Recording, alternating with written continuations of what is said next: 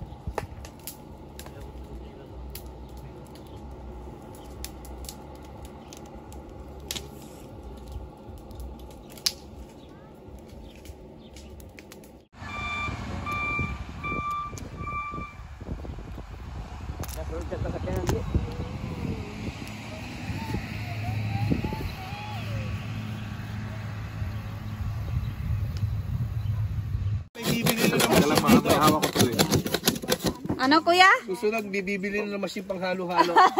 Iniikot na gano'n. Ay kuya, pangit yung plastic. Daling masira. Yung ano, yung bakal, yung mga school doon sa Pilipinas, di ba? Sa mga palit.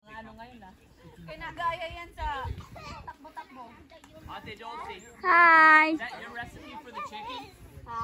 Hi, video! Sarap ng... Hmm. Hello! Hi! Bagong gising. That chicken, I think I'd have to say it's one of the best things I've ever tasted. Mama, here's my life. Because you escaped the prison.